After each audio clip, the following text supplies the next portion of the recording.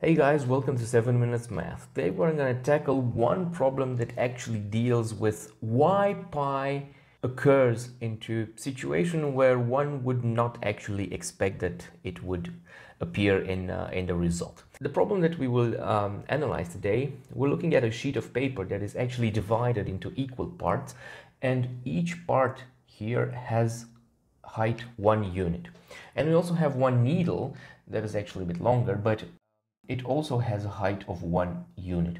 So the question now deals with um, what is the probability that if you throw the needle on this paper that it would actually hit one line here.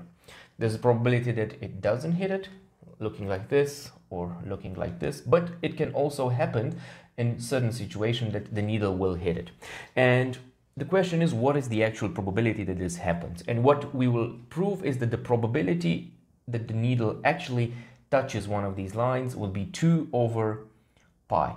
Now, it is obviously from the start that this would not be a result that you would expect to, to actually see. So let's analyze a little bit and see what is actually happening. Let's take two parallel lines. That will be, for example, these lines over here and just draw them a little bit more separate here so that we, can see what's happening. We're also going to draw here the middle line in between these, um, in between the, them two. And here's what we're going to, to, um, to see. Let's assume that what's happening is that the needle falls on the upper side. This is the center of the needle and it will go, let's say, for example, like this. Right, this is the center of, of the needle. And we will consider the distance between this point here and the upper line. It's um, D. We will take a line, for example, let's use again the blue, which is parallel here, that goes right to the middle of the needle. And the distance between the tipping point here and the line, which is this one, let's call it h. The angle here we call it theta. Now what is obviously from uh, from the start is that um, we are getting at this point this length here is 1 over 2 and we can express this h as being equal to um, 1 over 2 times sine of theta. And this is because the sine of theta is h divided by 1 over, um, 1 over 2.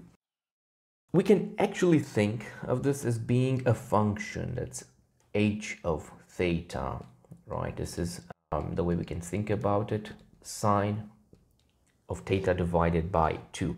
And the condition here that um, the needle actually touches this line is that h is greater than d. So we have to look for touch is equivalent to h being greater, let's say also equal than, than d.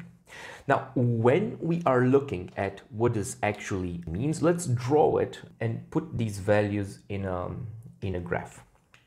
We can see that d is going in between values from 0 all the way to 1 over, uh, over 2. And this is because we are from the start thinking that the middle point right here will be in the upper part. If it happens so that it will be in the uh, lower part, we will consider this in a symmetric way. So we can consider this without actually um, reducing the, the, general, um, the general case.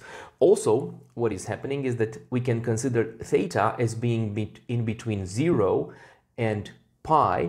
And if it so happens that theta is greater than pi, so that it looks like this, we are actually in a symmetrical case because there is no uh, direction of, of the needle. So also theta here belongs to um, 0 to um, 2 pi. When we are drawing now the actual graph, we can see that h of theta looks like this. And the point here will be 1 over 2. This is um, the origin of, um, of the axis, and this is the function h of theta. Now, D is actually in between 0, 1 over 2, so D will be in the same area right, right here. So now the question is, in order to have this touch, what does it mean that H is greater than D? It actually means that this function, which is H of theta, always must lie above the value of d. And because d is also located in between 0 and 1 over 2, let's draw this rectangle right over here.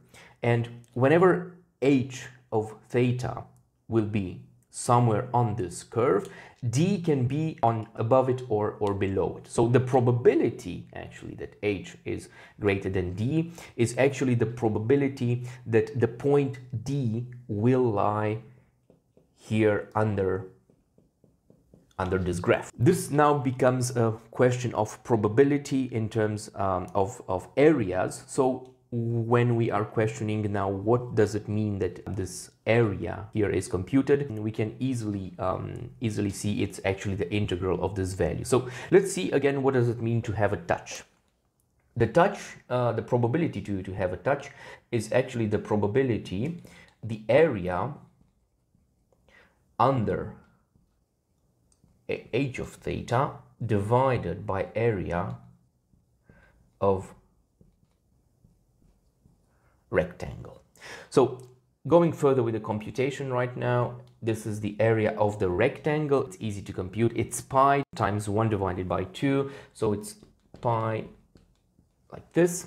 And the area uh, under the h of theta is actually the integral between 0 and pi of 1 divided by 2 sine theta d theta. And going further with the computation, this here converts 2 over pi integral of sine of theta d theta. And this is equal to these terms here cancel each other. It's 1 over pi times minus cosine of theta and this is in between the values 0 and pi. And this further computes as, so it's minus cosine of theta is cosine of um, pi is minus 1 with a minus here goes to 1 cosine of 0 is 1 with the minus in front of it it will go plus 1 and you have here 2 over pi. So this actually proves why the probability to have uh, the needle touching one point it's 2 over pi. Now maybe you are wondering what is the situation when again you have the needle with an angle more than pi. As explained earlier, you don't actually need to care about the situation because it is a symmetrical situation. If you have uh, the midpoint of the needle falling into the actual second uh, half, the one that's below, again, the, the situation is, um, is symmetrical. We've only analyzed um, what happens if it's in one of these cases, if it goes above them you have one two three four five. So the probability to analyze one of them it's one over five it's 20 percent. But it's multiplied again by five times because uh, you can be in either of the situation and the probability will actually come back always to um, 2 over pi. This is the case because the length of the needle is one. This is maybe one interesting aspect. And because it's one, it's actually fully covering the distance in between two lines. That's what's uh, creating that no matter how you hit it, um, you will have 2 over pi. The situation would be a little bit different, for example, if the needle would be smaller. If the needle would be one third or, um, or one half, then you would have here a possibility that if the midpoint would touch, uh, let me draw it again, if the midpoint touches in a certain area, then it will never actually touch the two the two sideline here.